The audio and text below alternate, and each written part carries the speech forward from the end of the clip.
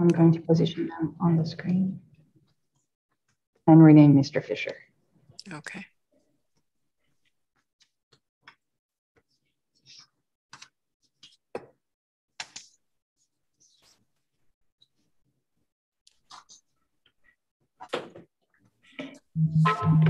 Asking the attorneys to start their videos on. I am admitting the law clerks into the waiting room, the courtroom.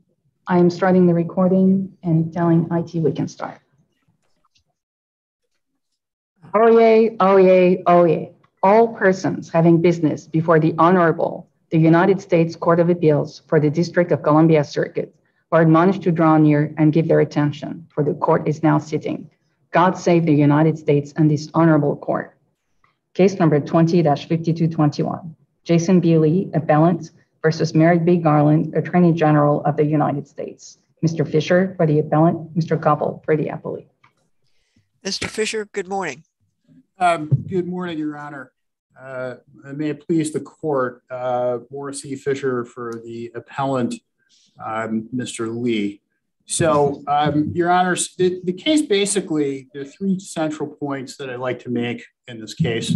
The first is that with just, I just want to touch briefly on the Title VII and the uh, Equal Protection uh, Clause of the Constitution, that it's kind of like an either or here because um, the courts the court knows that uh, as established in um, some of these other cases, Webster versus Doe, that the, the Egan does not bar the information gathering aspect of what's involved in these investigations.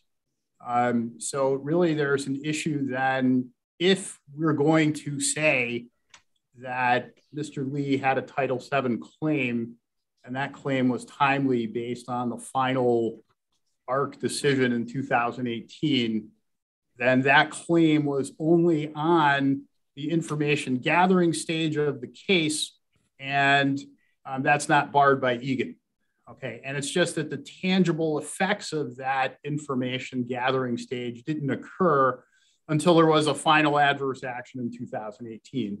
And then if the court, and then if the government argues, which their argument is, that Title VII doesn't even cover that, meaning if Title VII doesn't cover that, so then we have the equal protection clause that does. And then if you look at the case of the um, of the of Davis versus Passman, where the court goes into a whole thing here about how these have to be the bulwark of uh, against assumption of legislation, legislative or executive power. That this woman, who was a congressional staffer who suffered discrimination, had no other means to go ahead and um, bring her uh, discrimination case. That's where we need the equal protection um, clause right here. And I, and I, know that Judge Katsas, I know that you had a uh, had a concurrence um, in the Palmieri case that basically said this was an open question. The big right. question here, which is whether Egan bars constitutional claims under the Equal Protection Clause, is an open question. Right. That's right. And I think that in some of these other cases, you don't have the government. I mean, because it's open, you don't you don't have authority that we can review this sort of claim, right? You're you're asking us to extend review beyond where we've gone before. Well, we we know that basically we we do have authority in Webster versus uh, versus Doe, we, we the court does have authority. In, in, in, some of these earlier cases, I know the court said something like, "Well, this guy was pro se and he had a 163 page complaint that nobody really understood, um, so on and so forth." Um, but now we don't have that. Like now we have we have authority. I think we have authority from the Davis case. We like why is this case? Davis Davis applied Bivens, which is a great case on implied judicial review authority, but Bivens hasn't fared terribly well in the last 40 years. I understand. And let, let, me get. And I think this is a good time here because in the time that we have left, and, and I don't think that this case required more than you know, 10 minutes of argument and so on. But I, I think that one of the things that I saw in the Ziglar versus Abbasi case dealing with the First Amendment was basically look, government orders hundreds of these illegal aliens into custody. Um, six Arab Americans, maybe rightfully so, didn't like it, said, look, you know, the people who kind of imprisoned us here, so on and so forth, um, we're going to go after them. And the Supreme Court said basically, look, this is more of a policy thing. This, this is not really what Bivens is for. This is what you're really trying to do here is you're trying to go ahead and undermine or second guess a policy made at very, very high levels here in, the, in this country. And Bivens is not for that. And I think the district court judge in this case kind of sort of does the same thing. The district court says in his opinion that basically the decision to recognize a damages remedy requires an assessment of its impact on government operations system wide. Okay, that's not Mr. Lee's case. I mean, Mr. Lee is not saying, look, or here's what we want you to do. We want you to take a look at either the entire review process of how these polygraphs are administered. We want you to um, take a look. Are we being uh, targeted in? We're, they're on a systemic level. Okay, they're asking more. These no, officers. that's that's fair. It is your your claim is individualized, right? But you are asking us to probe the motivation of the executive branch decision maker, and that is something that's pretty intrusive but this is a lower level um, decision maker, and this is this is basically you're saying out of the scope of what he was doing. Okay, I mean, and, and some of the things that we pled in the complaint, not out of the scope of what he was doing. It's a perfectly legitimate function. Your theory is just he had a he had a bad motive. I mean, they're oh. they're entitled to examine people to make clearance determinations. They are not in the way that this uh, that, that, this particular or these two particular uh, agents did. I mean, accusing this man of being a Chinese spy, along with him and his father. Um, it, it, you know, it, and that affected our contention is that affected this person's um, that affected the test. Okay, uh, other people didn't have that. And then also the comments about the articles about we don't think that you're loyal here because you put these articles on Fox News and so on and so forth. I mean, I think that's not a typical. Know, I, we're not saying that. Listen, part of what the DOJ or the, or the FBI does here when they test for security clearances is really get under this guy's skin and really find the thing that's most sensitive about the guy and about the history and about his heritage. And let's see if this guy can withstand that kind of um, harassment and abuse. I mean, that, that's not, that, that, that is, there is no way that's the policy of DOJ or whoever administered this test, meaning these were rogue actions by these people. Um, and that's what distinguishes this case from the Ziglar versus Abbasi case. And that's what the, the fear, that's why there's no fear there. Well, there's always a fear, but I think that what outweighs the situation in Bivens, where we're going to have everybody in the world, every federal employee who doesn't have it their way, bring some sort of First Amendment claim or equal protection claim against whomever, okay, just for the heck of it, that, that's not this case. This is this is an rule. If we rule in your favor, yeah. As as to reviewability, you're you're that might be an argument that some equal protection claims are stronger than others on the merits.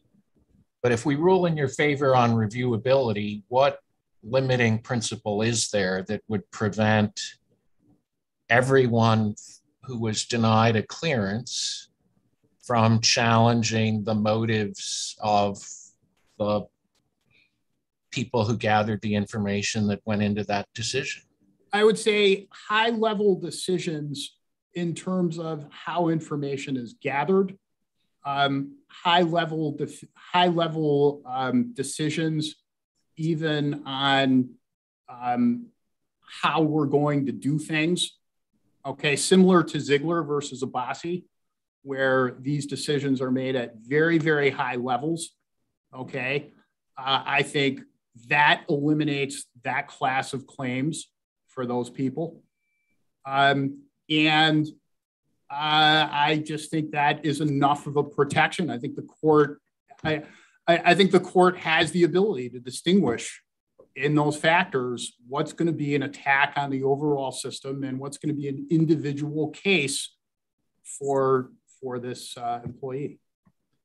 So that's a limiting principle, although a bit vague, but you're saying, well, we can handle that. It's a limiting principle that still um, allows any such case uh, coming from originating with the denial of a clearance, right? As long as as long as the attack is based on, let's say, what happened at the uh, at the scenario, and it's against a low level person and and the claim is this particular guy this particular official misused his power to affect something in the investigative process which ultimately denied me my clearance yes i think that's very fair um, finally just one i see my time just is over but the last point is that there didn't seem to be any argument at all against the injunctive relief on the First Amendment.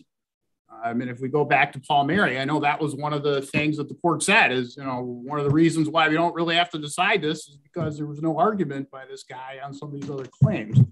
So I, I think in all fairness, the, the case should proceed on that. But I think the Bivens issue is critical. I think that right now, free speech in this country is under attack. Okay. I think that we don't want a situation where someone has more rights on a Bivens claim on a sexual harassment or gender discrimination, which is a bad thing. I mean, everybody agrees that's a bad thing. But I don't think we want a system where, where that's has greater protection than a free speech uh, case. All right. Thank you. Thank you. Mr. Koppel.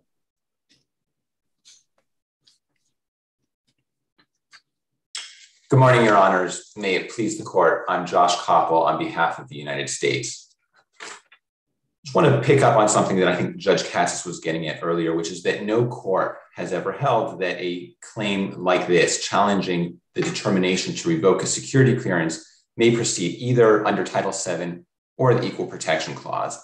And it simply can't be the upshot of Egan and the myriad cases in this court and the other courts of appeals dismissing Title VII claims challenging the revocation of a security clearance, that the plaintiff can simply move to, for leave to amend his complaint and relabel essentially the same allegations an equal protection clause uh, claim. And so, you know, there's really two reasons for this, which of course we set out in our briefs. The first is that as the Supreme Court held in Brown v. GSA, Title VII provides the exclusive judicial remedy for claims of discrimination in federal employment. And that's the holding of the Fifth Circuit in Perez v. FBI and the Ninth Circuit in Brazil v. Department of the Navy. The Title VII precludes an equal protection claim challenging the revocation of a security clearance. And second, the equal protection claim is barred by Egan. Of course, in Egan, the Supreme Court explained that the executive branch's power to deny or revoke a security clearance stems from the president's authority under Article 2 of the Constitution as commander in chief. And the court explained that the predictive judgment of whether someone might compromise sensitive information can only be made by those with expertise in protecting classified information. Outside non expert bodies like courts or the MSPB can't review the substance of that kind of judgment or determine what constitutes an acceptable margin of error. So, uh, you know, least equal. There's a lot of language in Egan that's very helpful to you. But on the other hand, I mean, really is a case about the authority of the MSPB to do statutory authority of the MSPB to review certain kinds of decisions under the CSRA, right? This is about this is about the Article 2 interests of the president bumping up against the Article 3. I, I, I imagine it's due process interests in securing review of constitutional claims. And I, just, I, I don't see a whole lot in Egan or Webster or the Title VII cases to help me resolve that question. So, can, can, you give me can you give me a sort of first principles way of thinking about this? Is is this a Youngstown case? I, I think that uh, power is it a is it a um, is it a procedural due is it due process case thinking about Mathews balancing? What, what's the right analytical framework for weighing those constitutional considerations? I think that Egan is, is an application of the political question doctrine, or at least establishes the basis for applying the political question doctrine here. And Egan establishes two of the Baker v. Carr factors, and any one of which would put you know, the, the question of uh, whether a security clearance should be revoked in the political question, you know, would, would make that a political question. So first, Egan shows that there is the Constitution contains a textually demonstrable commitment of authority to the executive branch. The president, again, is acting pursuant to his Article 2 power as commander in chief when, an, when the, the executive branch revokes a security clearance. And second, there's no judicially discoverable or manageable standard for reviewing the determination to revoke a security clearance. That determination requires a predictive judgment about uncertain future events and, and whether the, the employee or the, the individual would be able to protect classified information. That's not something within the expertise of, of a court. No, but I mean, we do think it's, we normally think it's within the expertise of a court to make the sometimes very difficult judgment whether an executive actor is has made a decision for a prohibited reason like racial discrimination as opposed to for any other reason. That that's right but you know egan again speaks to this specific context where you know there are uh, national security concerns and the um, you know, reviewing a Title VII claim, equal protection claim, doesn't only, of course, require determining whether uh, there was some kind of discrimination in, in the process. Of course, then the court has to go on, you know, under the McDonnell Douglas uh, test, look at the, here would be the FBI's proffered legitimate non-discriminatory reasons for revoking the, the security clearance and determining whether those would have supported the decision. And that is, you know, fundamentally a, a, a the, the kind of decision not within the expertise of courts that relates to again to the predictive judgment about whether someone you know uh, in in future circumstances could be compelled to disclose sensitive information so turning you know just touching very briefly on the bivens point because uh, that took a lot of time in, in uh, opposing counsel's argument you know the, the starting point, of course, is Ziglar v. And there's no question that this is a new context. And so extending Bivens to this context is certainly a disfavored judicial activity. But there's, and there are numerous special factors here that strongly counsel hesitation before extending a judicially created private right of action for damages. But the one that I really want to highlight is the concern that if polygraph examiners, decision makers, with regard to the decision to uh, revoke a security clearance, face the prospect of individual liability. They might certainly censor themselves, not ask the tough questions, not press the, the subject. Uh, you know, out, out of fear that, that they'll be subject to that kind of suit. And that is, you know, certainly very concerning in the national security context. So, unless the court has uh, further questions, we ask that the court affirm the judgment of the, of the district court. All right. Thank you. Uh, Mr. Fisher, why don't you take two minutes? Okay, thank you. So I think that the last point that my adversary made, I, I, think that is the guts and the essence of this case. Okay. Again, this is somebody saying, okay, Mr. Uh, point 87 of the proposed amended complaint that Mr. Sibilia, the, the officer, saying something that this, you plaintiff, you, Mr. Lee, this is a cowardly attempt to hide identity while posing knowing false, disparaging remarks about the FBI in a news article. Okay, that is free speech.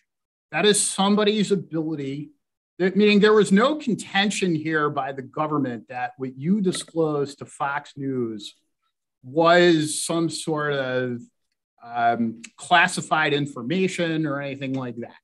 Okay, it was you. You reported something. You reported a concern to the media, and I don't like it. And I think that your uh, uh, your your loyalty is in question for this because this is a security force who ultimately is loyal to the president. Okay, and without getting over dramatic here, what does that sound like? Okay, isn't that any totalitarian regime? I mean, we have basically a constitution that steps in and says this is different.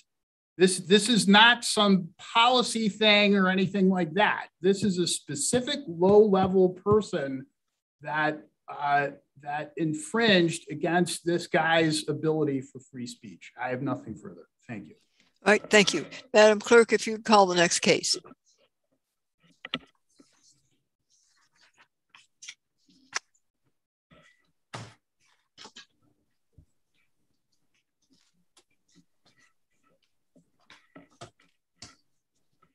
Case number 20-5151, Lori Marino, PhD, et al., appellants, Whale and Dolphin Conservation versus National Oceanic and Atmospheric Administration, et al. Ms. Lewis for the appellants, Ms. Engels for the appellees.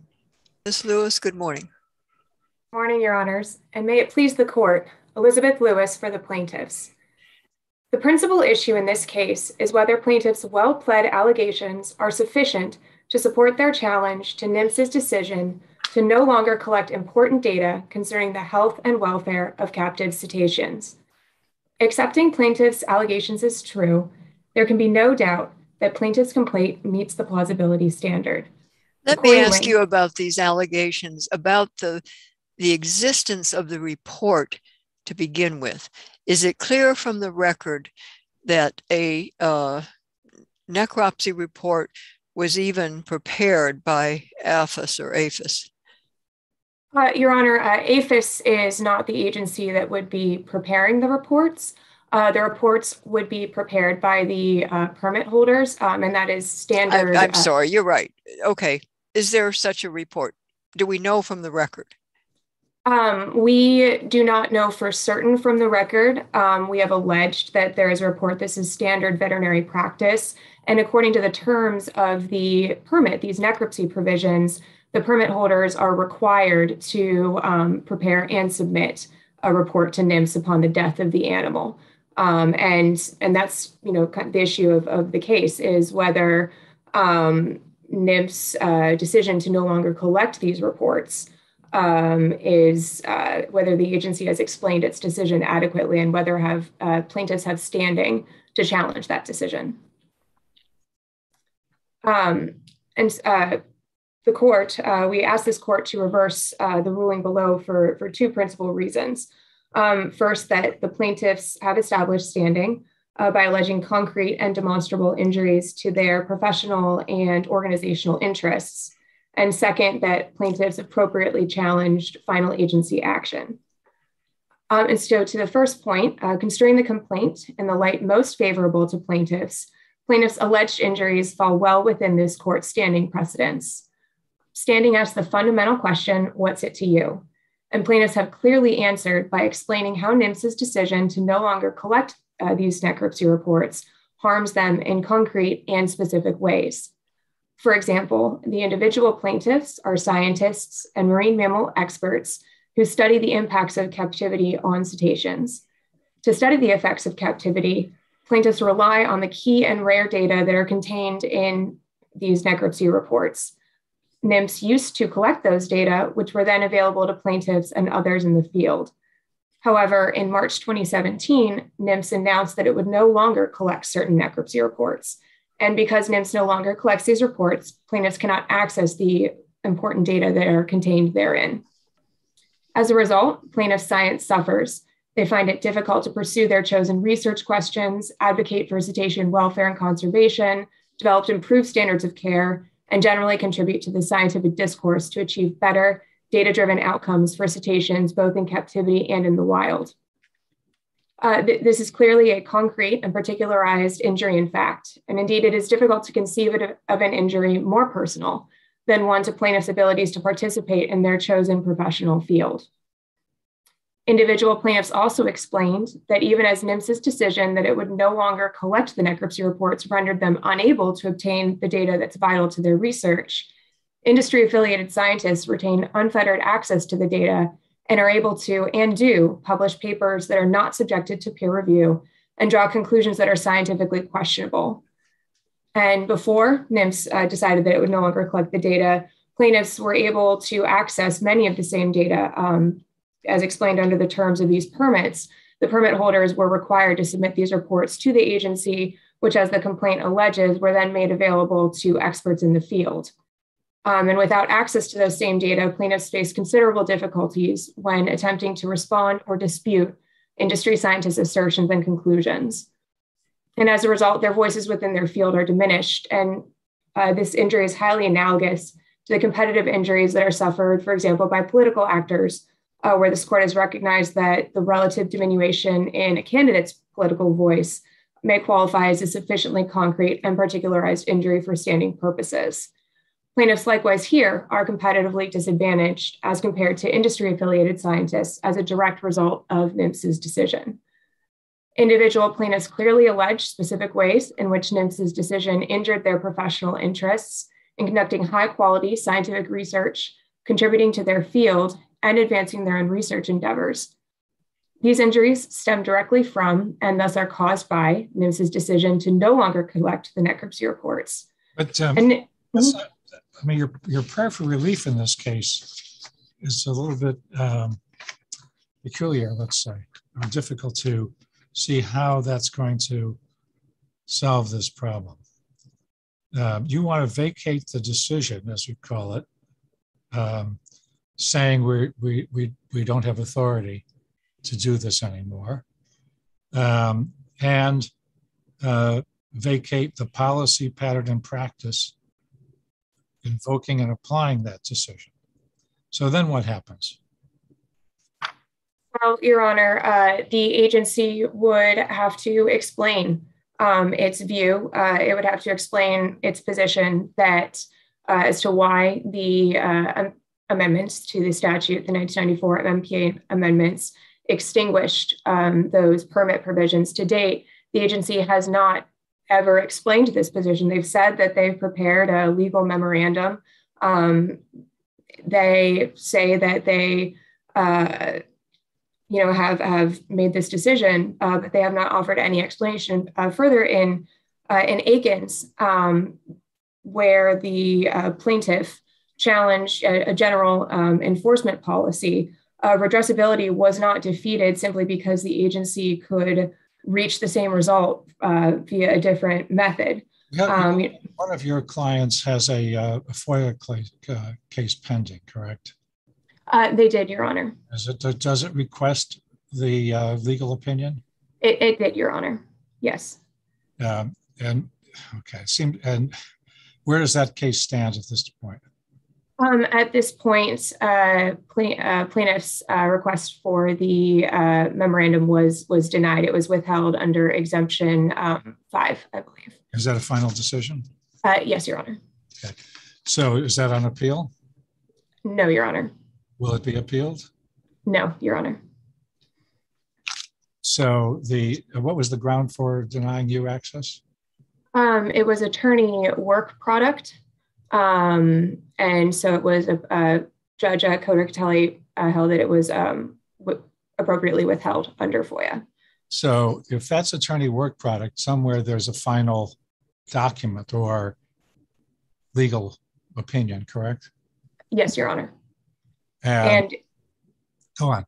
Oh, uh, the uh, the email um, that we've attached um, in our uh, joint appendix um, makes reference to that memorandum as the basis for uh, NMFS's decision and application of its policy to um, plaintiff's request. So it's now res judicata that you cannot get that opinion. Uh, correct. Um, and yet that's part of your relief here, is it not? We are not asking for the agency's legal um, opinion uh, or or advice. We're asking for the agency to explain its its policy.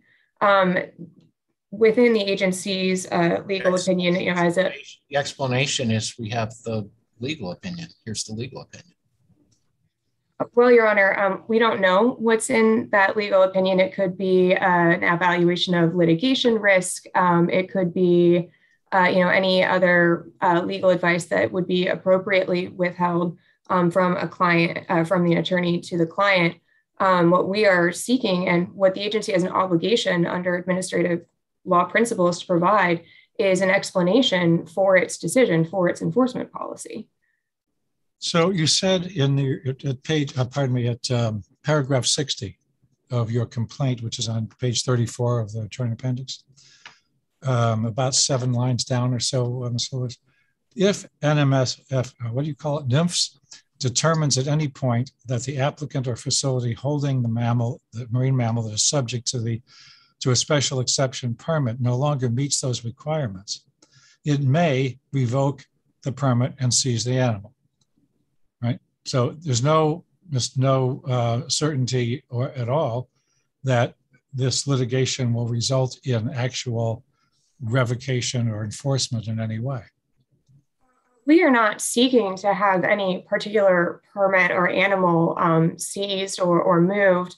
Uh, what we are uh, seeking is the information that NMFS is supposed to have in its possession uh, under the terms of the permit. These uh, FOIA case here, you're seeking uh, vacating the email and the policy, right?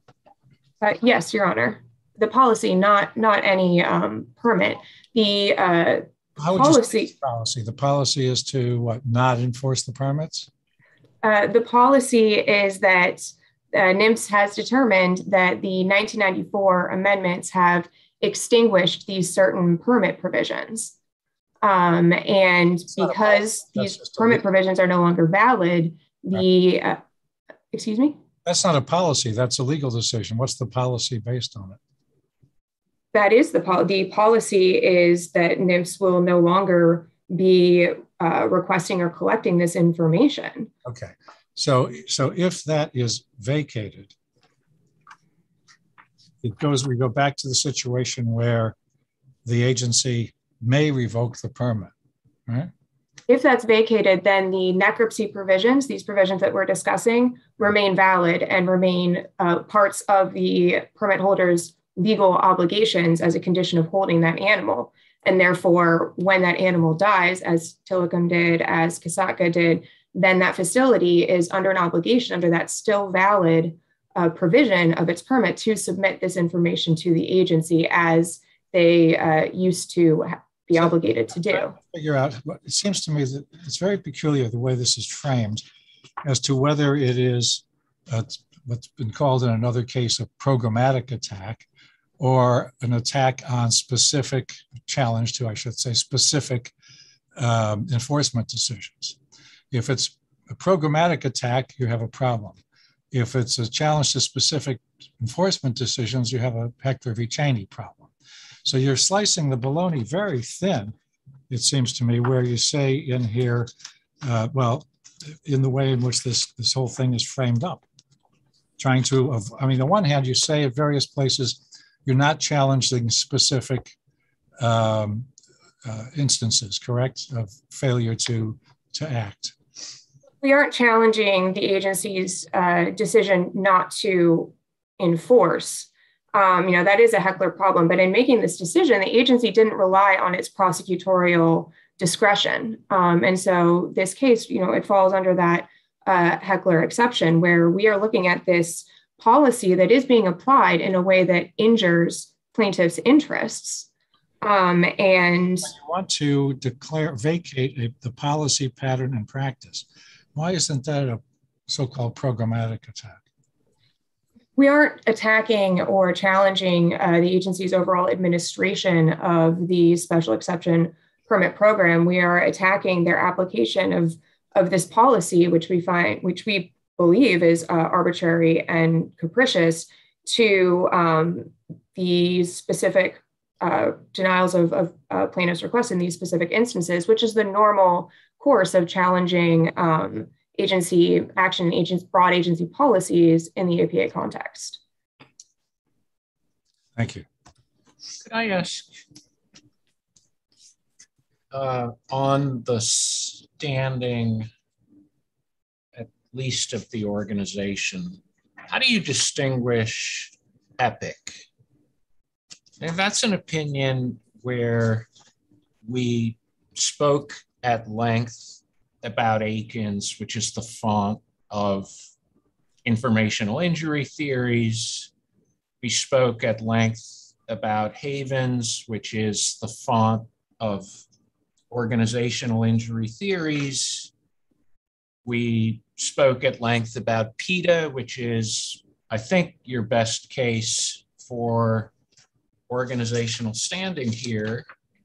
And we said pretty clearly that if you don't satisfy Akins, you don't have an informational injury and if you don't have an informational injury and the harm to the organization is not getting information, that's a very good indicator that you don't have organizational standing.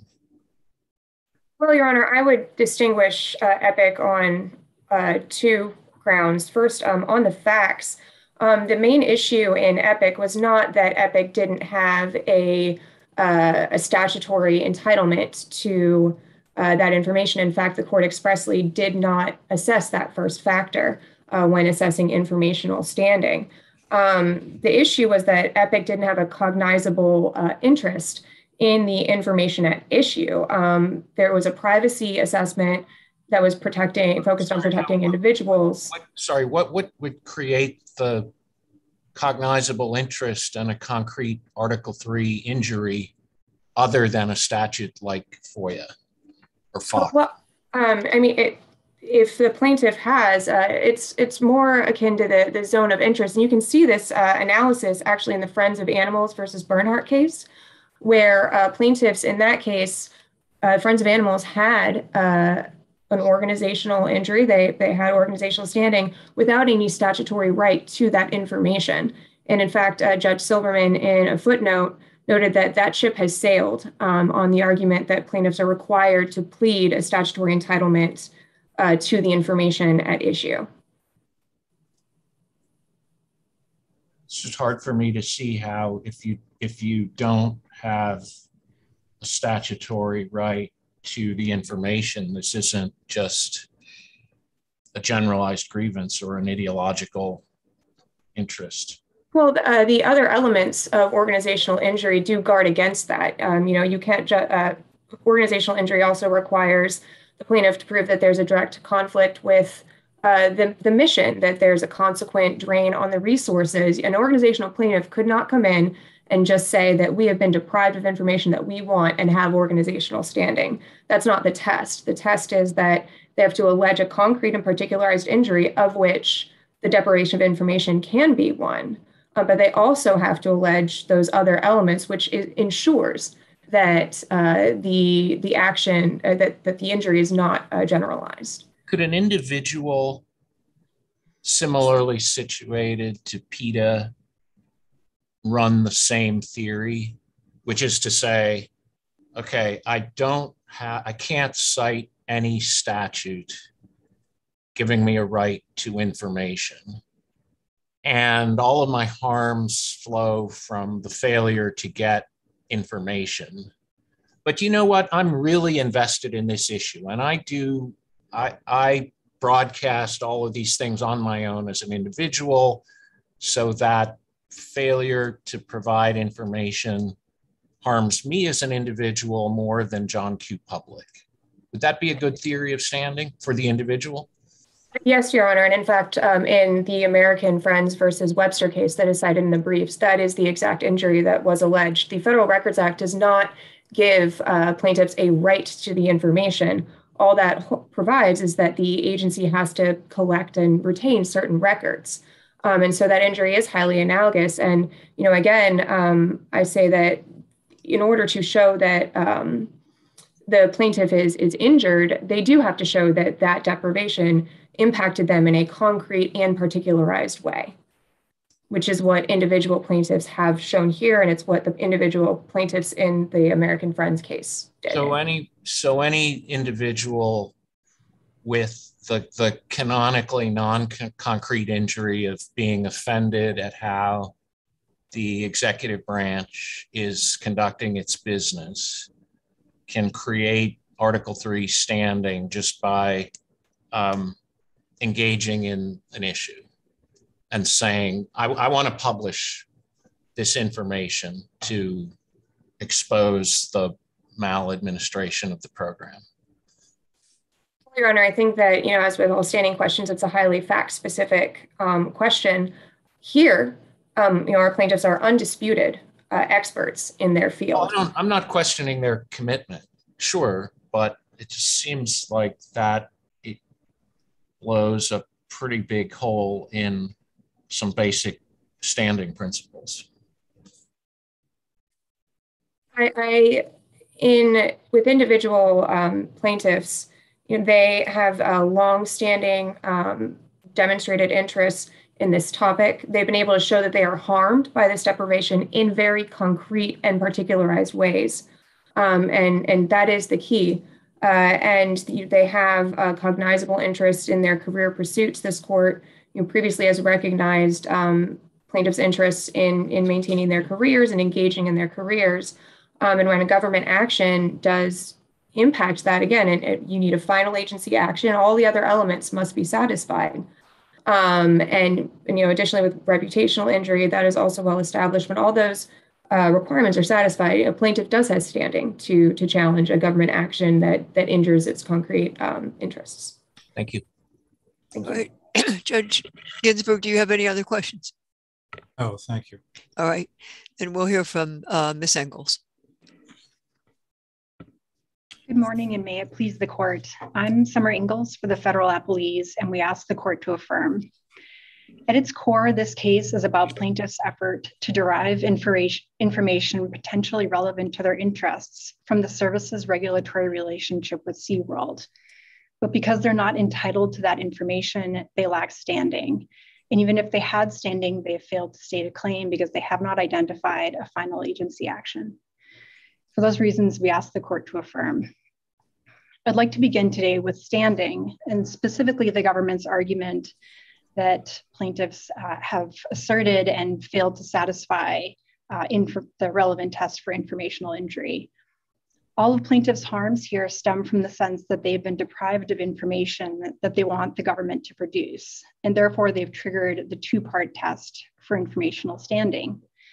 And the first part of that test asks whether they, whether they have a statutory entitlement to that information. Plaintiffs here identify no statutory entitlement, and in fact, they assert that they're not obligated to identify an entitlement at all to satisfy the test. Suppose you're right about that the informational injury part of your case. They couldn't establish informational injury under Akins. Their theory is they don't have to because they satisfy a different organizational injury test. And as some of my questions suggested, I, I, find that a little bit problematic. But what do you do with Bernhardt, Friends of Earth, Friends of Animals versus Bernhardt? I mean, it's a, it's a 2020 case from this court And all you all you say in your brief is you just give us a but see cite to it. That's right. really not good enough for a panel bound by precedent. Under understandably. Uh, the relevant discussion Bernhardt was a, a, one one line footnote, and we think the case is distinguishable because at least there the plaintiffs asserted that the Endangered Species Act required the Fish and Wildlife Service to publish information in the Federal Register rather than uh, completed on a case by case basis or, or uh, that wouldn't be subject to publication and, and that deprived them of information. So, in that sense, even though the court said in the footnote that the ship had sailed, uh, there was still at least some basis for the plaintiffs to say that they had an entitlement to that information. Now, Bernhardt is a, a unique sorry, case. I missed, sorry, I missed that. Help walk me through that.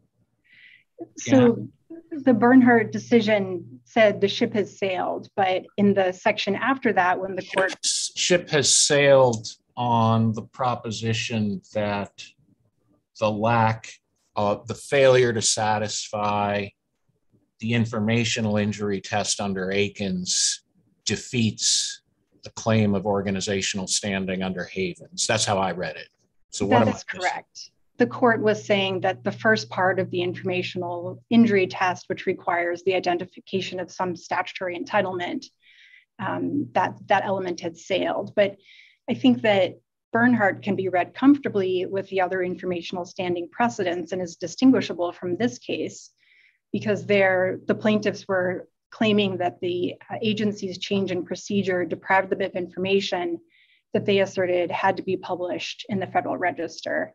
And here we don't have any sort of similar statutory or even regulatory hook uh, that, that gives the plaintiffs any sort of right to information. Now, the statute at issue in Bernhardt was different from other classic informational injury statutes, but I think uh, because it could be read broadly as a disclosure um, provision, it can be reconciled on its facts. I mean, but I would. It's, it's not the more obvious reading of Bernhardt. I guess your position has to be that a broad reading of Bernhardt would bring it into conflict with Epic. And so we need to, um, I don't know, spin sounds pejorative, but we need to narrow it because Epic seems strongly in your favor.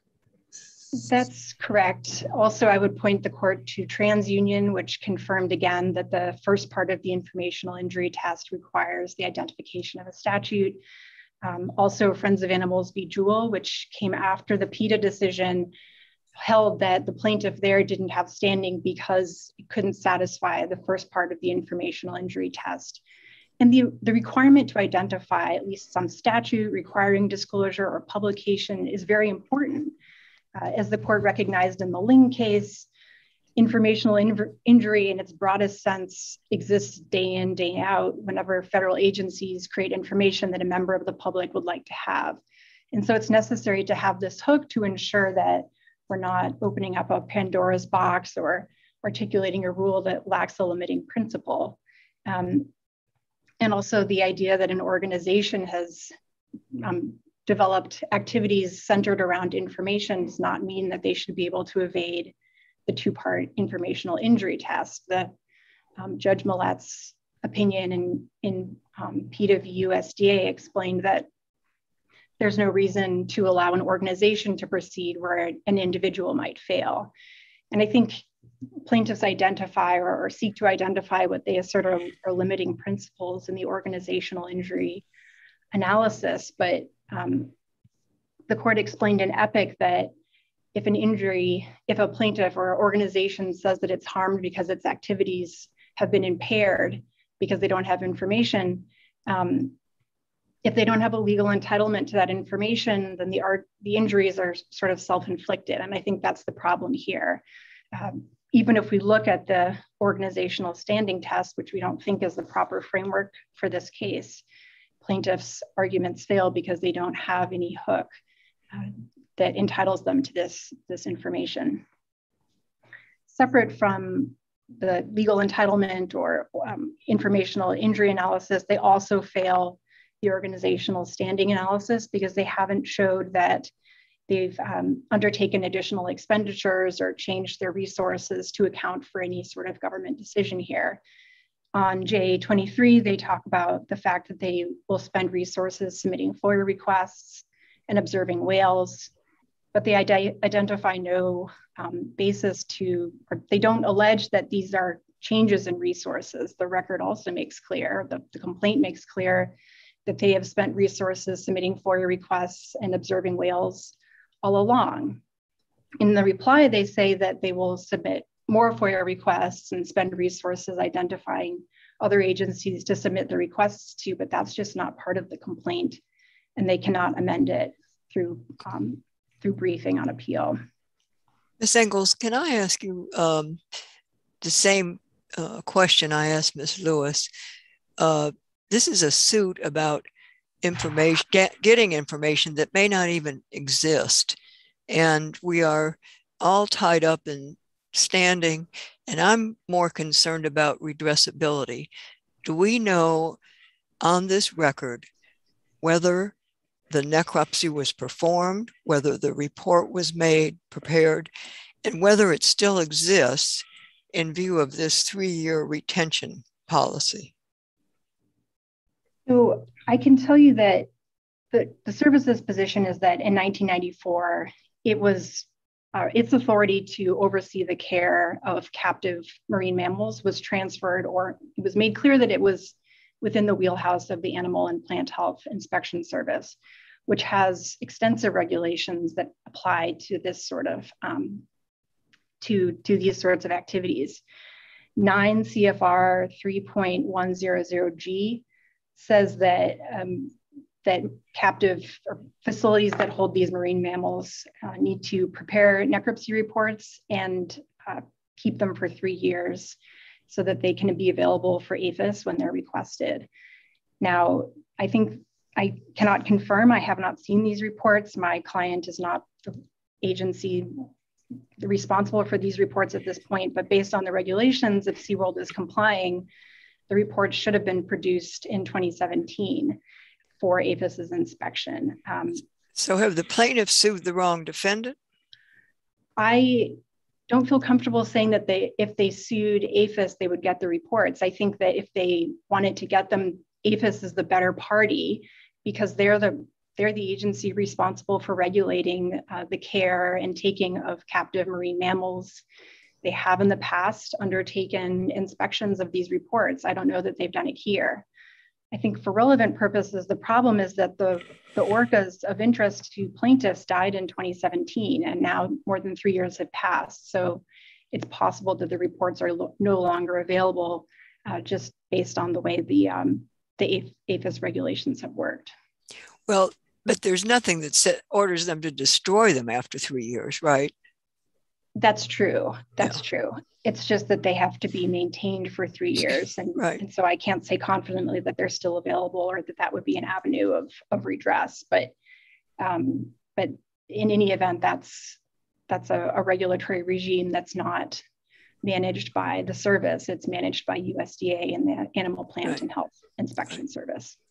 All right. Are there any more questions of Ms. Engels? No, thank you. All right. Ms. Lewis, why don't you take two minutes? Thank you. I just have um, four quick points. Um, as uh, Your Honor noted, um, the regs uh, require the preparation of this report, and um, NMFS has never denied that they exist. So at this stage, um, we think that the complaint does plausibly infer that they do exist. Um, and we are suing NMFS over its decision with respect to a permit over which it does have jurisdiction. I issued the permit. Um, that's the whole um, issue in the case. And so we do, uh, NMFS is the proper agency uh, for us to be um, suing. Um, and as far as uh, Friends of Animals uh, versus Bernhardt, um, there's a huge difference between uh, a claim that the agency could not proceed uh, by making these case by case determinations without a regulation um, versus a, an affirmative disclosure requirement, which this course, court's precedents have made extremely clear that an, a very clear, firm statutory entitlement is required to form the basis of uh, informational standing. And so uh, informational standing was, was very clearly not alleged in that case. It rested entirely on organizational standing. Um, and to your Honor's question um, about EPIC, again, EPIC did not rely on a statutory entitlement to deny uh, informational or organizational standing. Um, and we'd also remind the court that uh, PETA, uh, in the seminal case on this issue, also did not have a statutory entitlement to the information that it sought, yet still had organizational standing. And Judge Millett's opinion, in fact, uh, noted that the majority's opinion uh, walked the path uh, with circuit precedent um, in finding that organizational standing existed even without a statutory entitlement to the information. And if the court has no further questions, uh, we respectfully request that the ruling below uh, be uh, overturned. Thank right. you. Th thank you. Uh, Madam Clerk, will you give us a short recess, please? This honorable court will now take a brief recess. Judges, if you could please give me one minute while I uh, put the broadcasting PC and everybody else into the waiting room. Thank you.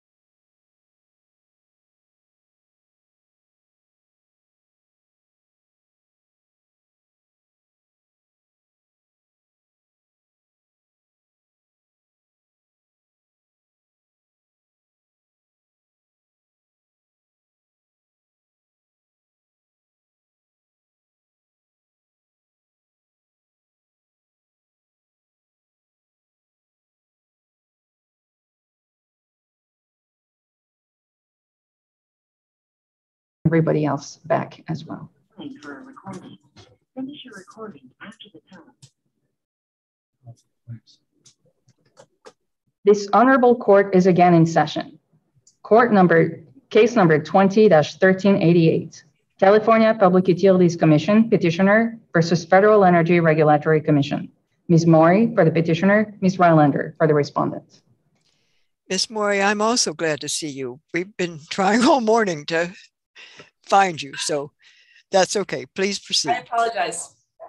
Please proceed. I've, I've been watching, so I don't know what happened, but thank you. Good morning. And may it please the court. I'm Candace Morey on behalf of petitioners. The California Public Utilities Commission asks the court today to remand the commission's order. The commission arbitrar- arbitrarily and capriciously approved a new filed rate formula that can overpay resources for backstop capacity without any safeguards to protect consumers or even other sellers in the market from windfall profits. It did so with no evidentiary basis, without addressing the compelling concerns and contrary evidence that parties raised, and based on nothing more than conclusory reasoning. To further explain the gravity of the Commission's error and why the law requires remand, I'd like to present three arguments this morning. First, why preventing windfall profits is important to California ratepayers whose interests the Commission failed to consider. Second, that this court's recent decision, Delaware Division of the Public Advocate versus FERC, compels the same outcome here remand. And third, that remand is necessary to clear up this key question What costs, if any, above our resources going forward costs should be guaranteed in the voluntary CPM capacity market, given that the ISO maintains mandatory backstop procurement power through its reliability must run tariff. Now, first, this case matters because the Commission has failed to fulfill its core statutory duty to protect consumers.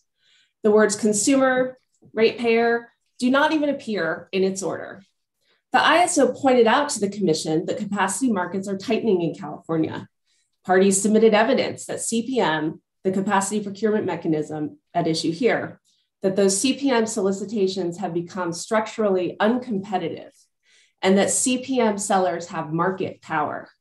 And that was before a prolonged extreme heat event in California caused reliability problems in the summer of 2020. In California, we have a history of sellers exerting market power to gain excessive compensation and harm ratepayers. And the new rate makes this even easier. It streamlines the process to get commission approval to make offers above the competitive soft offer cap and guarantees them a 20% adder, whether they need it or not.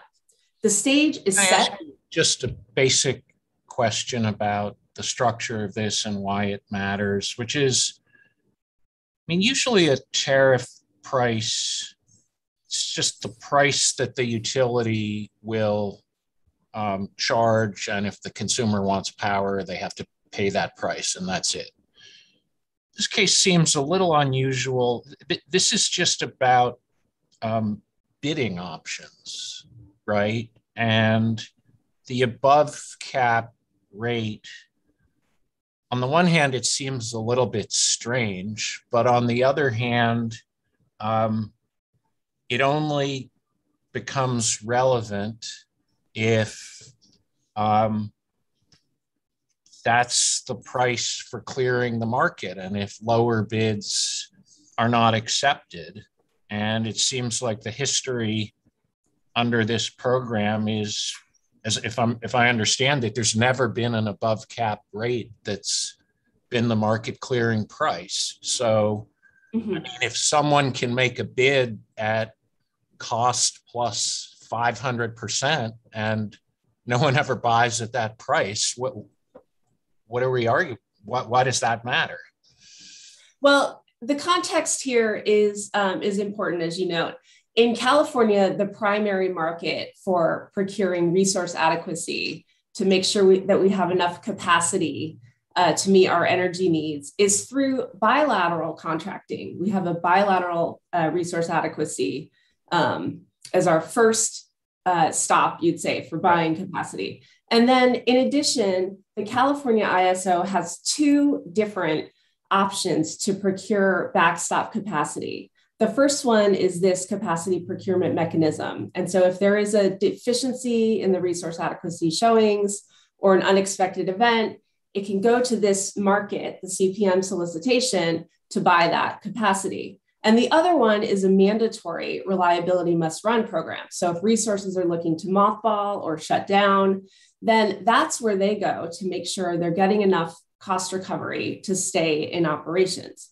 And so you're getting back to your question in CPM solicitations in 2015, the ISO proposed changing this market from a fixed administrative price. So every resource would have been paid the same, one, one price. And it went to a competitive bid process. And now this is pay as bid. So there's not a market clearing price. Each resource that bids in, if it's needed, it gets the bid it submitted. And a, an important part of that switch, which was part of a broad settlement that all parties agreed to, was that there needed to be a market mitigation measure there. And that market mitigation measure is that soft offer cap price. And so there's a formula that says this is the price that you get to bid up to with no justification of your costs. But what we're talking about today is bids above that soft offer cap price, where resources that are the highest cost I, need, I need some more money. Yeah, I understand that, and I understand they they get the bid price, but that's only if the ISO accepts that bid, right? That's correct, but um, this is a filed rate is the other important aspect of this. So this is a cost based showing that the resources make in order to be able to bid above that soft offer price. And it's important because whether it's been used much before in the past, it's really not a good predictor of the future here because the capacity markets are tightening in California. And when sellers have market power, it is not just unreasonable to pay them more than the costs they need to incur to pay to, to provide that cap capacity service. And now the second point I want to make is that the court here is compelled to reach the same outcome, which is remand regarding this automatic 20% adder that it's giving resources, um, as in the recent decision authored by Judge Henderson, the Delaware Division of the Public Advocate v. FERC. And the case is so strikingly similar here to this one in the ways that the commission failed to engage in reasoned decision making. And before making that analogy, I'll just give you a quick recap here. Here, the ISO did not provide, and the Commission did not rely on any data or evidence showing that the CPM, the capacity procurement resources, need or will use this automatic 20% adder that's given on top of their demonstrated going forward costs. They did not show that those resources will use or even need that adder for maintenance and upgrades. And in the ISO's energy markets, another key point is these resources retain all of the energy markets that they earn. And those energy bids, they're allowed to recover long-term maintenance and upgrade costs.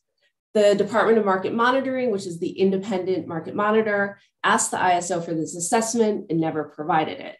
And the commission never responded to this issue. It didn't say anything uh, in response to arguments that resources are already earning enough money through market revenues in this competitive solicitation, and that it's just windfall profits to give them this extra 20% booster. the commission simply concluded that the inclusion of a 20% adder on top of demonstrated going forward costs is consistent with commission precedent on CPM compensation. And now, if this all sounds really familiar, uh, this failure to engage in reasoned decision making, it should, because it was the same flaws the commission, uh, the same failures of the commission in reasoned decision making in the Delaware Division of the Public Advocates versus FERC case. And now, before I conclude, I want to make one final point today. The Commission has never answered this looming and critical question which is just fundamental to this uh, competitive solicitation. And again, this is a voluntary backstop capacity market. And it's never said, well, what costs, if any, should these resources be guaranteed to recover in addition to keeping their market revenues and in addition to a capacity payment that covers their actual and demonstrated going forward costs.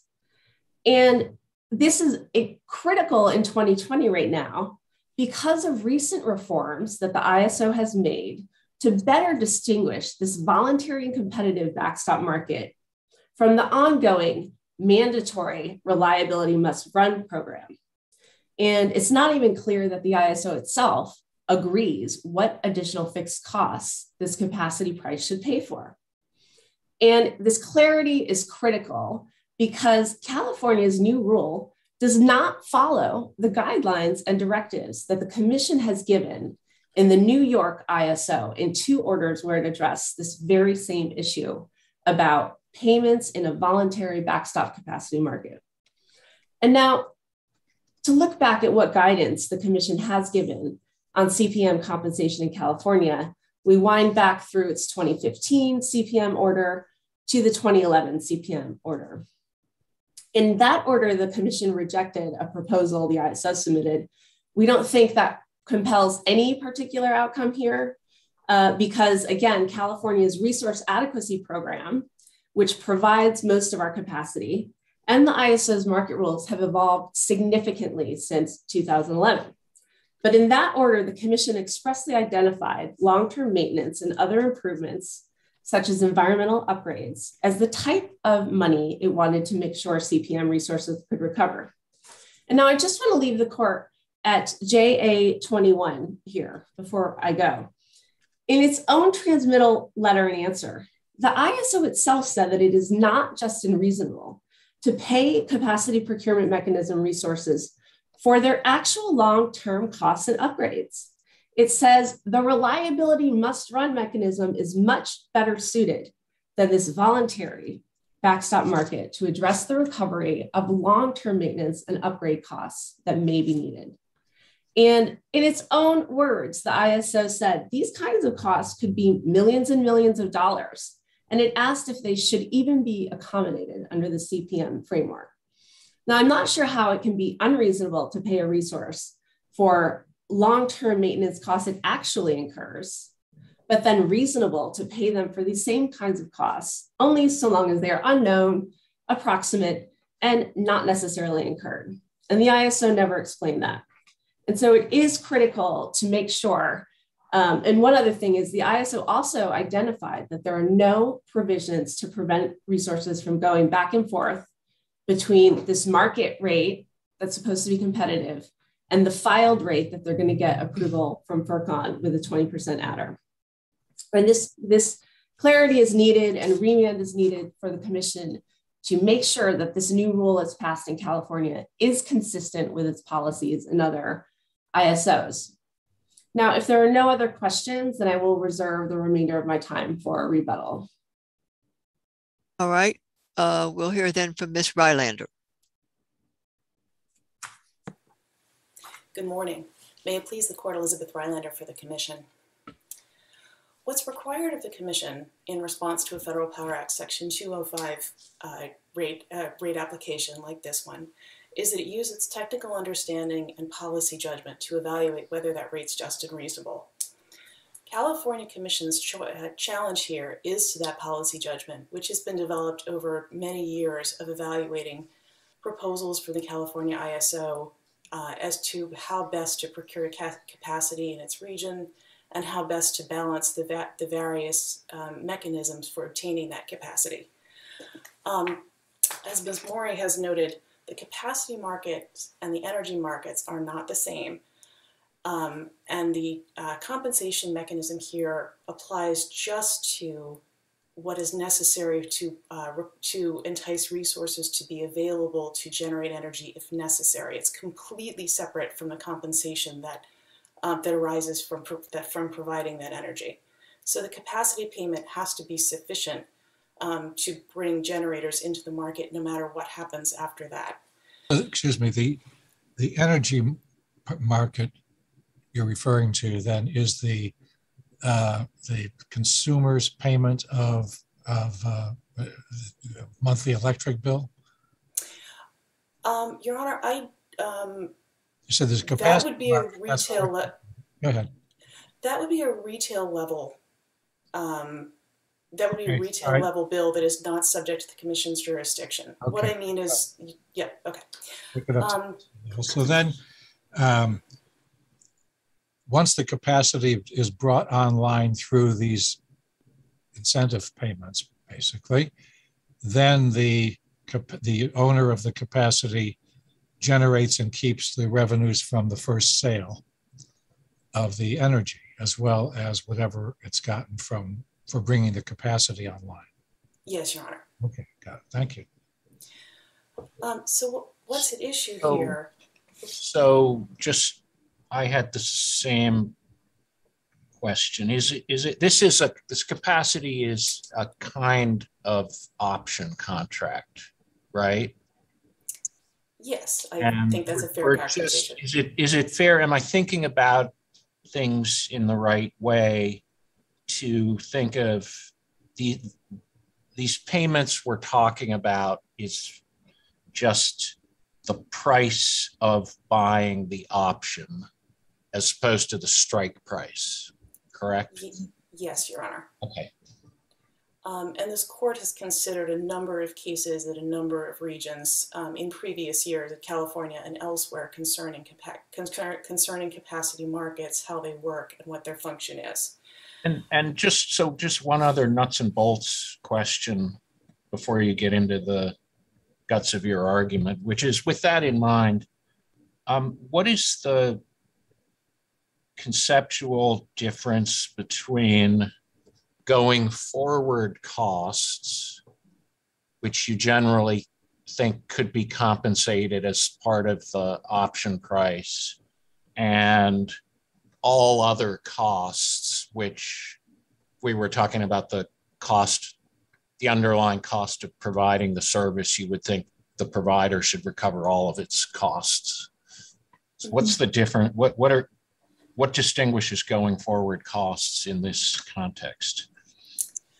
Going forward costs are a narrower set of costs than uh, are a narrower set of costs than full fixed costs. Um, and in this case, um, I believe there can be more than one definition of going forward costs, but um, here it's just three Yeah, I- I- narrow categories. I, yeah, I get that. I have in my notes, it's Mhm. fixed operating and, and maintenance costs, ad valorem taxes, and insurance And costs. insurance. I understand the point that that's a proper subset.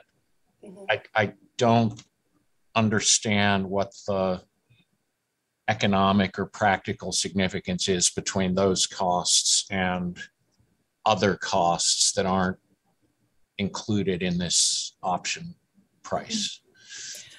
Um, I would characterize it as short-term costs versus long-term costs. And the commission's orders also draw this distinction um, in a, a couple of places, I believe in 2011 and 2015. What's, uh, what the commission found is necessary in this case is to, provi- is to provide an incentive not just for capacity providers to enter the market to provide capacity, but also if um, theirs is a resource that um, is maybe not very economic and that is at risk of retirement, there needs to be some incentive to remain in the market. There you get to longer term costs such as maintenance, um, uh, long term maintenance and capital improvements, which are referenced in the orders. Okay.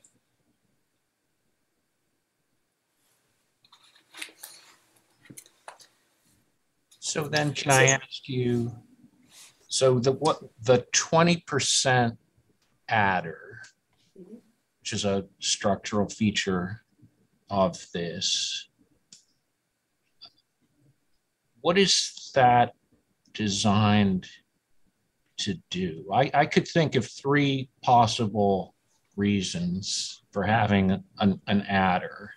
Mhm. One is one is to account for the fact that there are costs that aren't going forward costs, One is to um, account for the fact that you want a reasonable rate of return above and beyond costs.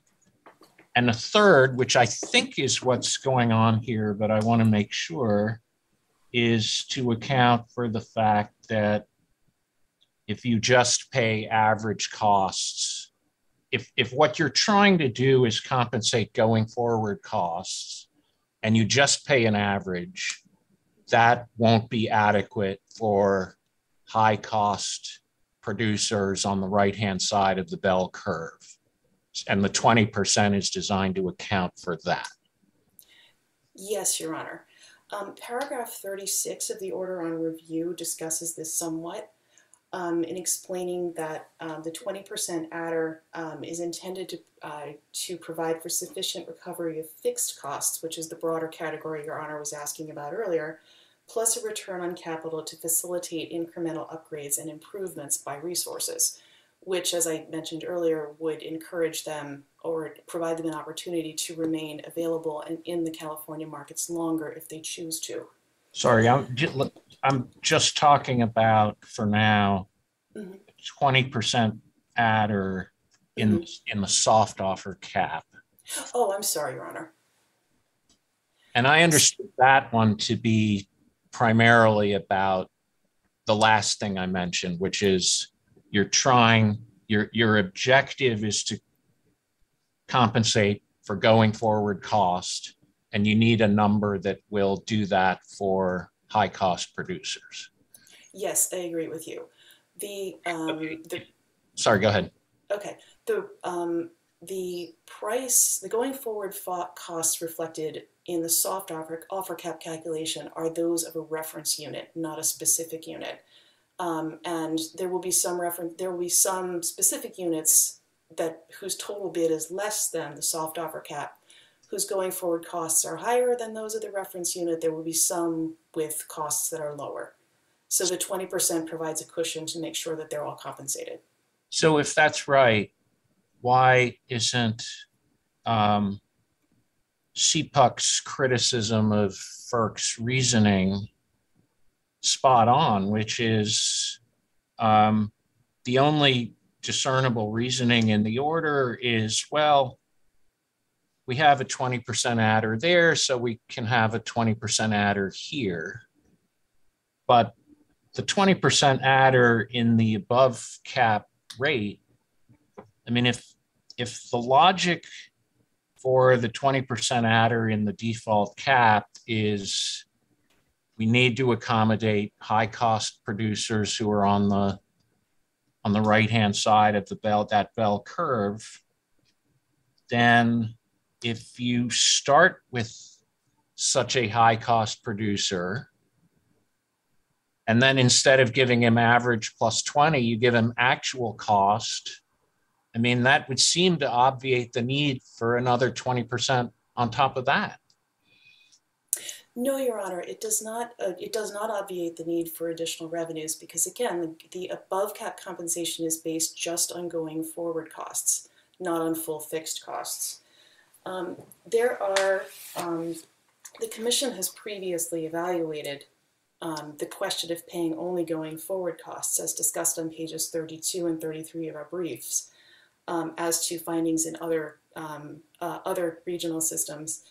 And here specifically in, in the 2018 uh, order on paragraph 44, where the commission noted that a resource at risk of retirement, which is the type you tend to see um, in, the, in the capacity procurement mechanism, is likely to need more um, than compensation available bilaterally. Um, and what is available bilaterally, um, because that is a, because that's a competitive function, is going to be is going to be somewhat lower than um, what is available to uh, what is available in the capacity procurement mechanism. So it's designed to capture the difference between going forward costs and other costs? Yes, Your Honor. It's um, what the Commission is trying to do here is to uh, identify a rate that is within the zone of reasonableness, um, and it just seems like. I mean, I. What do you do? What What about an average cost producer who can't say that um, can't say, well, I need more to account for the fact that my going forward costs are high. Mm-hmm. Or, or even a low cost producer, are, are they allowed to um, go above cap on the theory, not, not, not that their going forward costs are higher, but that they need to be compensated for other costs that aren't going forward costs? A resource that's bidding above the offer cap would have to submit a cost justification filing to the commission. Um, and as we've been over already, first that offer would have to be accepted, and there has never been an above cap offer accepted, and there's never been such a justification made to the to the commission. So to answer your question, I think a lower a, a lower uh, price generator could try to do that, but first, but there are two the two huge obstacles would be having its bid accepted and then having the commission find that it's that the bid is justified and that uh, the ISO could pay it. Getting back for a moment to the need to, re, to excuse me, you said yes, this Your Honor. in an above cap offer accepted. Yes. So when they the soft cap. Oh yes, above the soft cap. Yeah. There's um, there has never been, uh, to my knowledge, um, since the soft offer cap was um, was it was implemented in 2015, a bid higher than the soft offer cap accepted uh, for use in the California ISO markets or a cost justification filing made to the commission. Were so this rate is the bid submitted but not accepted. I don't know, Your Honor. Okay, so most of what we're talking about relates to bids that are above cap none of which have ever been accepted, but might be in the future. Correct. So this is all this is all very theoretical. But the 20% adder, if I understand it right, below cap bidders don't submit their costs, right? So mm-hmm. the adders intended for them to account the, to the variability in cost that you described, variability from, from the reference source. Yes. Um, but above cap, do submit their costs. Yes. So the justification from the below cost context doesn't seem to carry over. What's the need for an adder once you've gotten actual cost demonstrated? Um, once again, Your Honor, the um, you're going to say because the costs that are demonstrated are less than the full fixed costs, right? Yes. So and there's been agreed why, there is why, a, why not why does is it reasonable to do that rather than ask for show a showing of the full fixed costs at the same time as um, the going forward costs are submitted? There's nothing in the record to suggest whether that's reasonable or not because that is not the proposal made to the commission. The proposal fair, made fair to the enough, commission was that's fair enough but i don't see anything in the record or in the decision i should say that justifies the 20% adder other than carrying it over from this other context for below cost, uh, below cap offers. There are a couple of guideposts in the, uh, in the Commission's past decisions and also reflected in the record here. Um, there is agreement among market participants that the current rate for above cap resources is too high. Um, that's noted in the order at paragraph 12 and also at paragraphs 35 and 36. Um, where uh, that what's too high? Um, the current rate, uh, the I'm sorry, the, the I should say the previous rate that was in place from 2015 until this order. Right. The ISO wanted to replace that rate because market participants felt that it was too high. The commission did not make a finding as, you know, as to whether that rate had become unjust and unreasonable, but accepted the party's interest in changing it. So those are purchasers, I gather. They're complaining about the rate. Um, there were uh, purchasers and state entities complaining about the rate, yes. Okay. And on the other hand, that was Amicus Calpine says it's too low. Wait a minute, that was the rate for, for what? Above cap? Yes, that was the rate for above cap. It was calculated using a, a different mechanism. Um, it, that was calculated using full fixed costs um, plus a return of and on capital that ranged uh, that was set uh, previously set at 12.25%. So they thought it was too high uh, for rate for bids above the cap, none of which has ever been accepted. Correct. Got it. Um, again, Ms. this is- Rylander, yes. may I ask you about paragraph five in the uh, FERC dissent by uh, now Chairman Glick? That last sentence about, well, he says first, the 20% adder is particularly troubling because the CPM resources retain all market uh, revenues earned and so forth. Then he says, especially given the evidence of market power in the CPM process, the commission ought to provide some reason to believe that the 20% adder will be anything other than a windfall for high cost generators before finding it just and reasonable. What about this evidence of market power in the CPM process? Mhm. Um, Your Honor, the commission, um, uh, in paragraph forty-one of its order, limited the scope of this case just to the rate proposal. Um, and it chose not to take up, not to take up the issues of how the capacity procurement mechanism as a whole was working. Um, the ISO will have to, uh, will have to revisit the, uh, uh, the the capacity, I'm sorry, it will have to revisit this particular rate starting as soon as next year. Um, I would mention though that the, uh, the petitioner here, Excuse me, The 2020 Wait a minute. has never been used, will be re-examined next year in the ordinary course? um, the, uh, California ISO tariff requires that every time, um, every time the California Energy Commission releases a new study of generator costs, um, the California ISO in its stakeholder process must review the soft offer cap and its working. And if the California ISO wishes to make changes, then it has to submit those to the, uh, to the commission. Um, the tariff provision is cited in the commission's order and footnote. I believe it's footnote nine. Um, forty-three A point four point one point one point one, and it is appended to the back of the petitioner's brief. Where, where is that in the order, in the JA, joint appendix? Um, in the JA, it is page. Um, page two fifty-five. Give me a moment here. I have it. What footnote? Fine.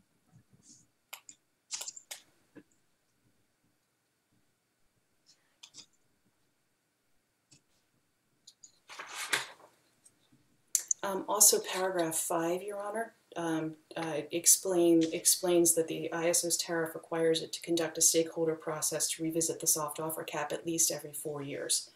And that, um, which is seen in the tariff provision, that is tied to the release of regular uh, California Energy Commission reports. So is there some reason to think that uh, the question of market power will be, will be uh, investigated at that point? It hasn't been in the past, I guess. I can't say, Your Honor. If, Well, I think that, I think Judge Ginsburg is asking the same thing I asked originally. In other words, the dissent says you haven't considered the market power of the CPM uh, regime. And you pointed to the majority or the order from FERC saying, we're not going to do that now. That's their, I mean, they don't explain why they aren't. They're just not going to do it now. And then Judge Ginsburg, I think you answered him saying they may never, they may never do it. Am I right? I can't speculate on what will happen in a future commission proceeding that hasn't begun at this point, Your Honor.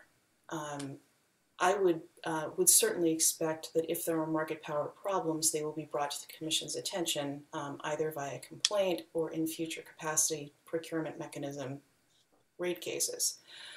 This is not a filing that deals with the overall structure of the capacity procurement mechanism or the way it works um, or how the California ISO uses it. It's limited to the very narrow um, issue of compensation for a small set of resources. Um, and once again, it's never, you know, for the hypothetical, so far, hypothetical situation in which such, um, uh, such payments are necessary. But if the justification, what you're right, what's before FERC is the a tariff amendment limited to above cap offers. Mm -hmm. But if FERC's justification is, well, this seems okay because the formula appears analogous to what happens for below cap offers, which seem not a helpful fact for you it, that if FERC has not examined at all what happens, the reasonableness of the below cap offers. Your Honor, I think we got away from this issue a few minutes ago, and I um, would like to, to re-explain that the Commission was not merely looking at the level of below cap compensation and saying, well, that worked in 2015, that'll probably work now. It does have other precedent in, um, in, other in other cases concerning this and other ISOs in which it's found that going forward costs alone, which is the pinpoint rate that California Commission would like to substitute here, are too low. Um, that's in our brief at 32 to 33 and also described in the 2018 order. And there's also evidence in the record that the current cap rate for above cap resources, which is full fixed costs plus a return of it on capital, is too high. Um, that's uh, mentioned in, in the order at paragraphs 12 and 35 to 36. And even Commissioner Glick said that, you know, that this rate is, you know, is at least a step in the right direction. Um, it is possible, um, it is I'm sorry, I misspoke. Um, what the California Commission, which never mentioned windfall profits, um, I believe until its reply brief, um, had to say, uh, had to, um, would like us to do is to substitute a pinpoint rate that the Commission knows is not, uh, the Commission knows is not sufficient to compensate expensive resources um, for something that appears to the Commission to at least be in the range of just and reasonable and which will remain under the Commission's oversight in the future. How do they know that it's insufficient if they have no experience with actual uh, bidding on? What the Commission has found in the past, Your Honor, is that um, going forward costs with which it does have experience alone are insufficient.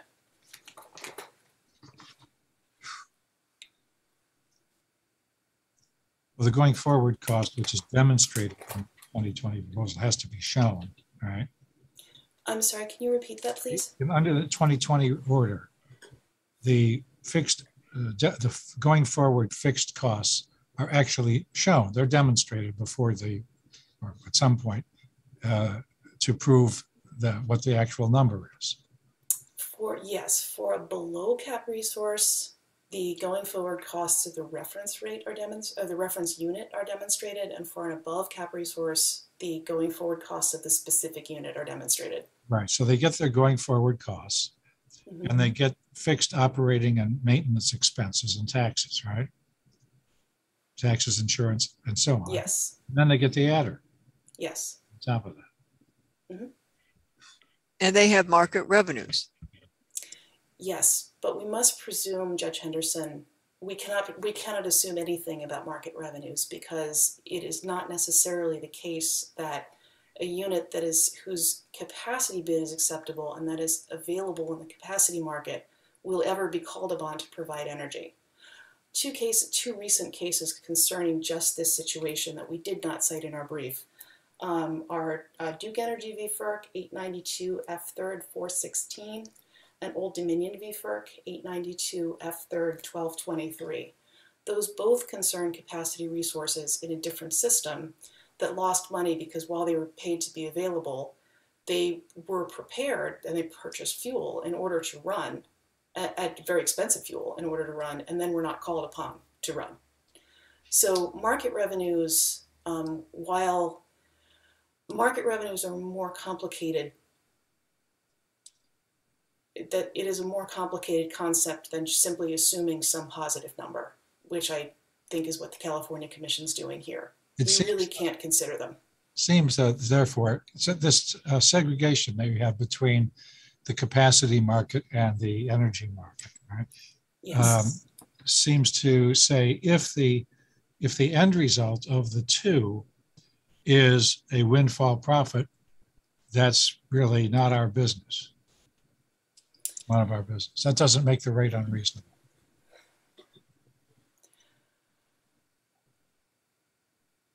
I do not expect that FERC, whose mission is to ensure just and reasonable rates, would ever countenance windfall profits, Your Honor. Um, and that's How will we know? How will one know, given the twenty percent adder without any demonstration of the we other will- beyond the forward, going forward costs? we will have real world data if this ever occurs. And if it does, the Commission has tools at its disposal to change the rate in the form of Federal Power Act Section 206, um, or to further investigate the rate, or otherwise to make changes. What we don't have is any showing that there will definitely be windfall profits or anything of that nature. And in the capacity market, do you regard market power as essentially irrelevant because when this capacity is called upon, it's a uh, an unusual and urgent situation in which demand is is uh, the price is is uh, the price of the offered is very high. A price the price that uh, the market clearing price, let's say, is very high because of the basically urgent circumstances, and therefore um, uh, whatever it takes is reasonable. Um, I think that is reading more into the Commission's order than is there, Your Honor. But what is, again, the, the vast bulk of the capacity procurement mechanism is bilateral and is competitive and is intended uh, is intended to find some sort of uh, some some sort of um, clearing price may not be the right may not be the right term, but is intended to find a competitive price for capacity.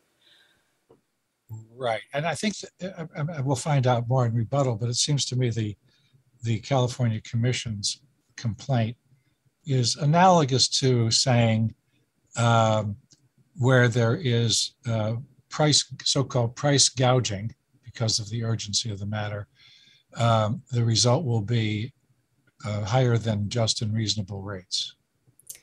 I would say that is their concern, Your Honor. Yes. And, and of course, that there, all, there will only be actual transactions when there is this great urgency and very high rates for bringing capacity online or keeping it.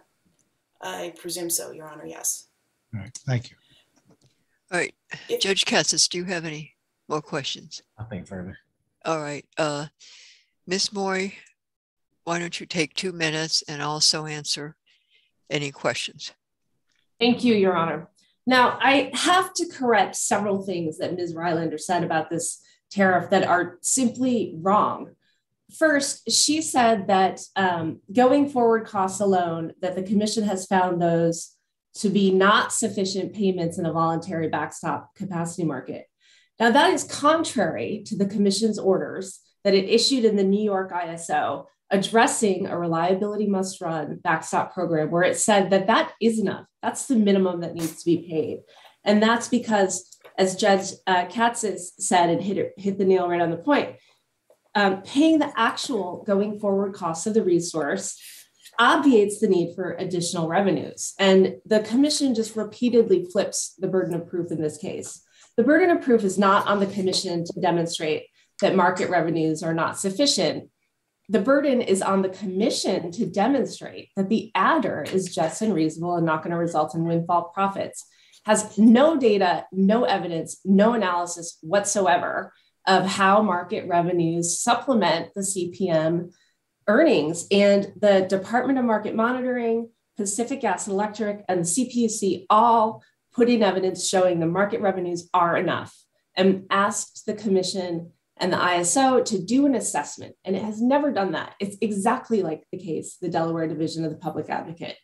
The second thing she said incorrectly is that risk of retirement resources are the types of capacity you're likely to see in this CPM market. Now, that is incorrect. Risk of retirement designations are no longer available in this backstop market.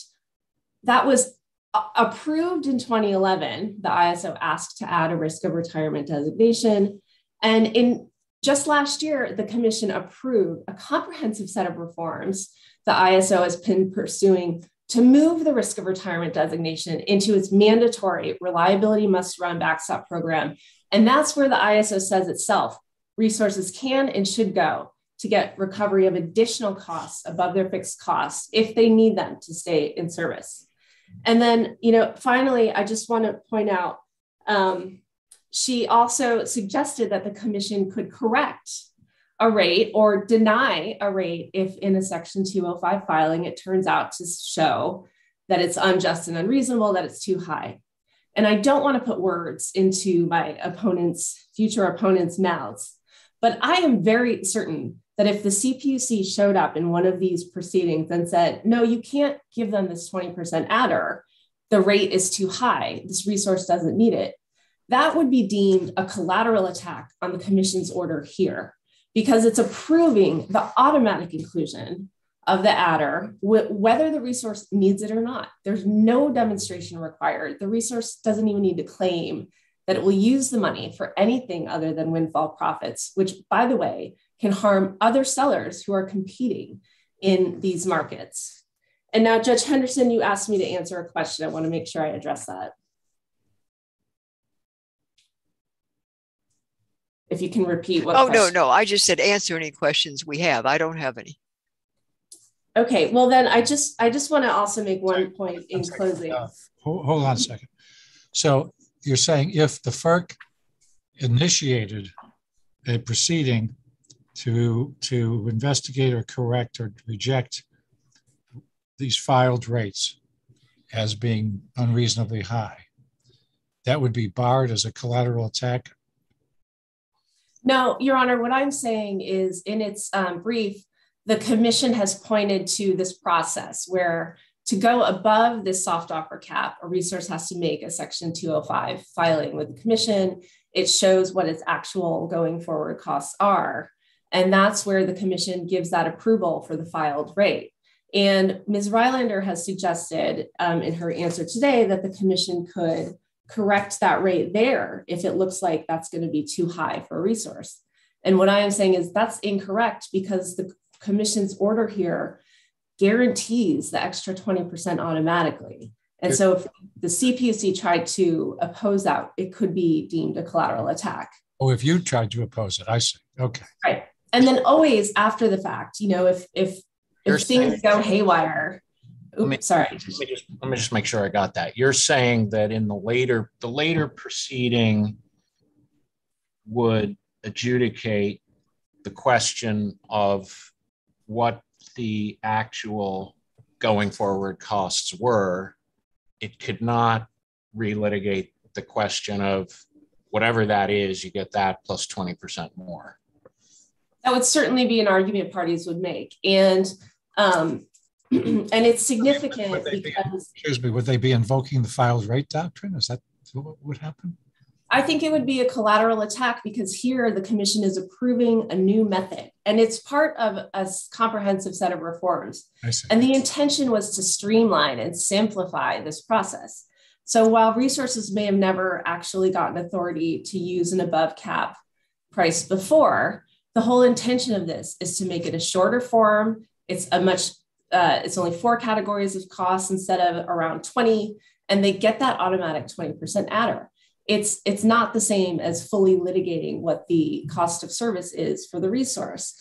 That's the change the commission is making to the above cap rate. And it's making that change because resources can always get their full cost of service by going through the, the California ISO's mandatory capacity backstop program. That's the reliability must run program. if they are needed to stay in operation for reliability. But that's not a choice that the resource owner can make. That's a choice that the, uh, the ISO makes. No, the resource owner can make that choice. Yeah. And the ISO can say, I, I, how can the resource say, you must, it's, uh, it's mandatory, you must buy my capacity? If the resource is saying that it's not making enough money from the market revenues, um, and that it's actually going to have to shut down or mothball, it goes to the ISO and it says, you know, we're planning to de- deissue. And then the ISO, if that resource is needed for reliability, it will evaluate what long term costs, upgrades, cost of service is needed by that resource to keep it in service. But here, this capacity procurement mechanism is a short term market. The ISO itself pointed out these are usually one to two month designations. Many of them are for partial units. And the ISO itself, I really invite you to look at JA21. The ISO itself says this is not the program to provide long term costs for uh, environmental and other upgrades. It says that should be done in the reliability must run program. And so, again, the commission here has said well, there's no there's no evidence that the 20% will overcompensate, but that's not the burden. The commission's order has to be supported by substantial evidence. In this case, it is not supported by any evidence at all. It's not even close to a scintilla. It is zero. The only basis for its decision is that, well, we approve this 20% adder for the soft offer cap itself in connection with proxy resource. So we'll, we'll approve it here. And just one other thing to point out the ISO revisits this price every so often. In the reform, in the stakeholder process that was just finished, the parties demonstrated that that soft offer cap price is too high, that the CPM solicitations have become structurally uncompetitive. And parties asked the ISO to lower it, but it didn't do that. In the Section 205 filing, it only recommended changing the above soft offer cap. So if we're going to get that soft offer cap changed, we have to file a Section 206 complaint. But, but that's not part of your your concern in the current proceeding, right? On in this court, you haven't challenged that. We that is not before the court because it would have to come through a Section 206 complaint. But those very same concerns, the very same evidence showing that that soft offer cap formula itself with the 20% adder has become overcompensatory, that is leading to unjust and unreasonable rates, and that there's market power being exerted in California today, that those same arguments compel the commission to do more than it has done here. It is not balancing the interests of consumers against the needs of sellers and it is required to do. It hasn't considered consumers at all. Only now Chairman Glick has done that in his dissent, and he reaches the right outcome here. All right. Are there any more questions? All right. Thank you. Thank you. If you will adjourn court, please, Madam Clerk. This honorable court is now adjourned until Tuesday, October 12th at 9.30 a.m.